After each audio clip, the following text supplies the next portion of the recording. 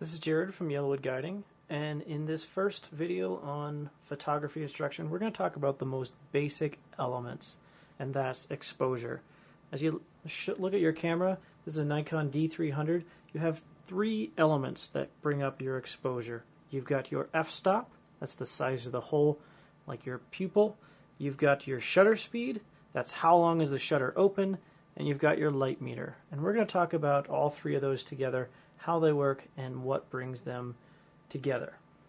So, looking at your element, we have this camera set up on manual mode. I can adjust my f-stop, I can freely adjust my shutter speed, and as you make these adjustments, one way or the other, that changes your light meter right here. Your meter is telling you that at this shutter speed, this is how much brighter the image is going to be than 18% gray. A camera meter works off of looking at the world and trying to make it be 18% gray, which is why you don't want to use your camera on automatic. It will only know that it wants to make the world 18% gray. So if I wanted to make the world darker, I can dial it in and manually make the world darker. I can also make it brighter but your camera doesn't know that. So you've got to tell it what to do. You're smarter than your camera. And that's the first thing to remember. So looking at these two elements, we're going to look at the shutter speed and how that adjusts your light meter as well as the f-stop. So in the next video, we're going to talk about shutter speed.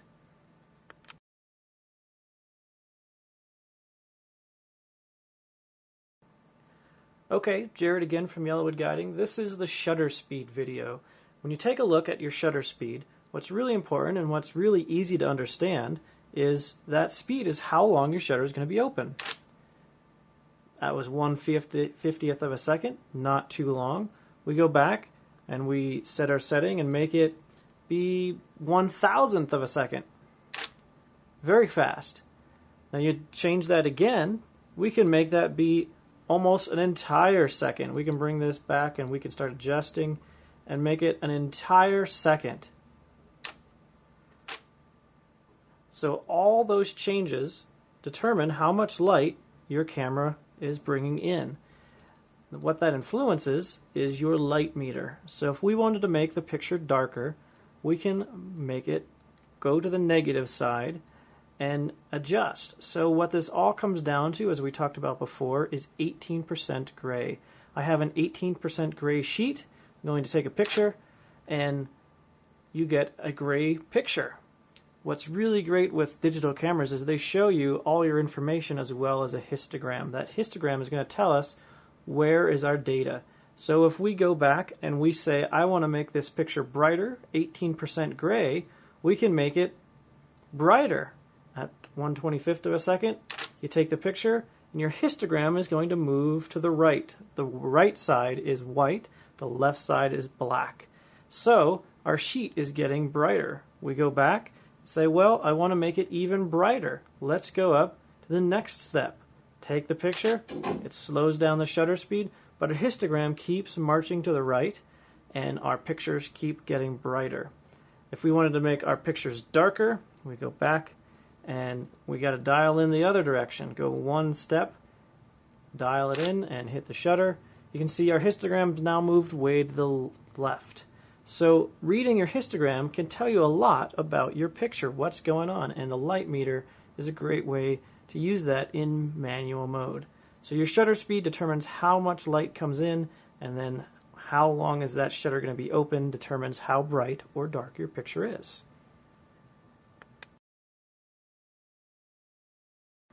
The next element that we want to talk about on your camera is your f-stop. Your f-stop is the size of that hole at the back of your camera lens and how much light is that letting through.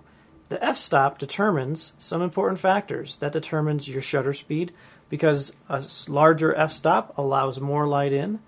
A smaller f-stop, you can see our light meter goes down to the negative side to get a shot at f20 to make this 18% gray, we'd have to dial it in to get back to zero, we'd have to take it at that shutter speed. The other element of this aspect of the f-stop or aperture is determining your depth of field. So we're going to take a look at a camera lens And as we adjust, we're going to take a look at how that affects the lens itself. So here, I've set up my Nikon D, uh, pardon me, my Nikon 300 millimeter f4. And the reason I used the f4 is the aperture, the f-stop, f4, allows to get a very big hole. So when you set your f-stop, right before you take the picture, your camera adjusts this setting to determine how big or how small that aperture or f-stop is and how much light is going to be brought in. So, when you look at that, we're going to take a look at some pictures here that as you move through your pictures, if you've got an f4, you're going to have a wide open aperture. There's f4. If you go to the other side of the spectrum at f22, you're going to be down with a little tiny hole, and that's going to determine the depth of field. If you have a big f-stop number like f4, you're going to be able to see just what's close to you, what you just focus on. If you have a very small number, you're going to be able to see a large distance on how much is in focus. So let's take a look at some pictures here as we just just the f-stop. We're going to keep a consistent exposure so it stays just as bright, but we're going to change that depth of field. So in this video, we're going to talk about how the f-stop affects our pictures, how that changes our depth of field. So as we take a look, I got a picture of a feather set up, and we're going to photograph this feather. And what's really cool, I've got my camera's live view mode on, so we can see exactly what my camera sees. So we're going to start just taking some pictures through our f-stops as we go from f4 to f22 and I'm going to throw up the, the pictures on the, the video so you can see how that depth of field changes and progresses to get deeper and deeper as we move our f-stop number higher and higher. So there's f4. We're going to bump that up to f5. I'm going to take a bunch of pictures here. Let's go to f6.3. We're going to go to f8. I'm shooting in aperture priority mode, so as I adjust my aperture, my shutter speed gets longer and longer to allow that same amount of light to get in. So you're going to keep moving from F10. Let's go to F13. F16. F20. And then finally F22.